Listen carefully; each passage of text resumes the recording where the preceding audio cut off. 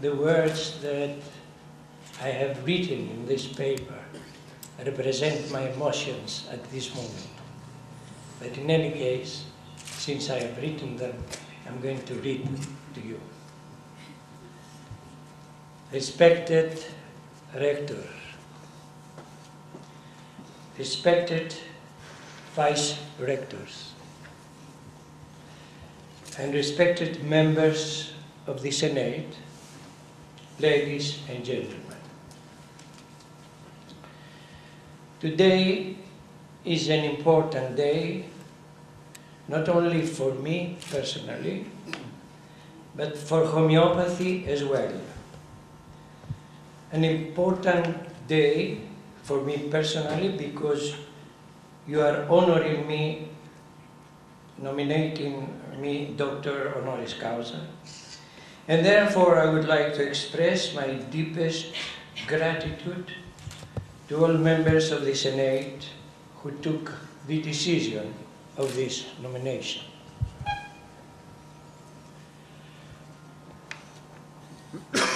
I feel that today the whole world is in a turmoil and in the brink of a global, global catastrophe. The mentality of the Western people, mostly of scientists and politicians, seems to be in a state of confusion.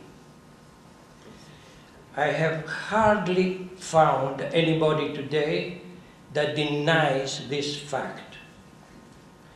My question is why we arrive at such a state of animosity between nations?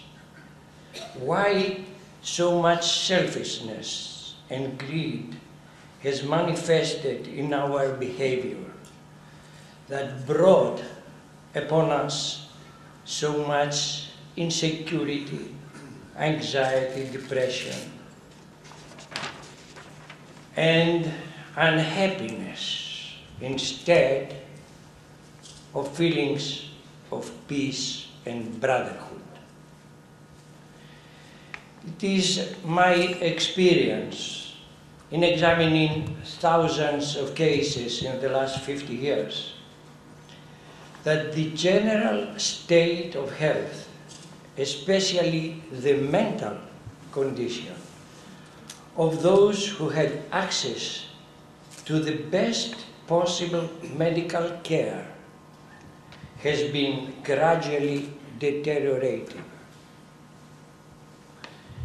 As you know, Europe and uh, America and uh, Canada, they had the best possible coverage of health, yet I feel their minds are not working properly.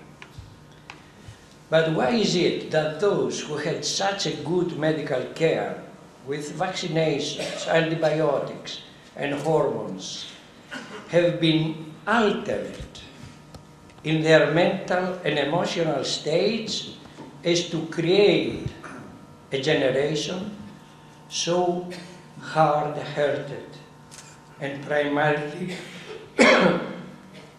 a mind which is so selfish and greedy. Is the natural evolution of human beings to become more and more selfish and materialistic, nurturing hatred and divisions? Or is it to become more and more spiritual, serene, happy, and joyful, caring for each other? I know from personal experience and observations that all humans have the potential of experiences or experiencing elated stage of happiness and bliss if they manage to get rid of their selfishness. I have seen this happening in the most healthy of them. If an individual is in a state of happiness, there is not the least possibility of doing harm to others. The question is why such individuals are so few today in the Western world as not to be able to form a critical mass to resist the negative aspects developing more and more every day. Why, why, why then it is that the Western world that is considered to be the leaders of the whole world today are promoting all these negative qualities of hatred and divisions, nations against nations, races against one another, religious sects preaching hatred and divisionism against each other, and all this situation threatens to annihilate the human race from the face of the earth.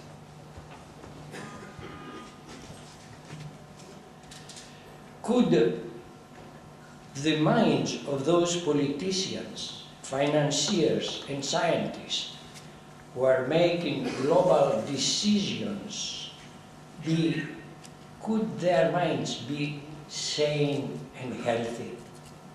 I doubt. What we know from our homeopathic experience is that our daily decisions and actions many times are influenced and sometimes even dictated by our mental emotional pathology. This is not a theoretical aspect anymore. Today we know that it is a fact. If the above assumptions are correct, then obviously something has gone terribly wrong concerning the health of the general population of the Western countries. The question is why? Without ignoring the contribution of several environmental factors that affect health, without ignoring the influence of the modern competitive societies in creating anxiety, fears, insecurities, and aggressions, I estimate that the greatest contribution in the creation of the mental state of contemporary people lies with an unwise overuse of conventional chemical drugs, hormones, and vaccinations that have affected deeply the human organism and also the function of the brain. According to a research that was carried out in our academy for more than 30 years, the outcome was published in a leading medical journal with the title The Continuum of a Unified Theory of Diseases, which shows the role of chemical drugs in suppressing diseases towards the very central part of the human organism, which is the brain. What was amazing for me was to observe that any chemical drug designed to combat a particular pathology, after being inserted into the organism, did not have a somewhat vague side effect, but followed a determinate pathway in the organism, many times triggering the inherent predisposition, the weak points of the patient for manifesting chronic diseases. If we assume that the above assumptions are close to the truth, then we have to admit that the present state of the global politics and global finances are the outcome of sick minds that cannot see anymore the essential and the obvious, which is the promotion of happiness and joy for all people. But on the contrary, they seek devious ways for managing the masses in order to exploit them. Then we have to accept that we have a difficult medical problem to solve. And for this purpose, all of us who are concerned with the health of the genera general population have to sit together with a critical mind to find the best solutions. I do not believe that conventional medicine so far has been able to give reliable answers to the main medical problems, especially in chronic diseases. But neither homeopathy has all the answers.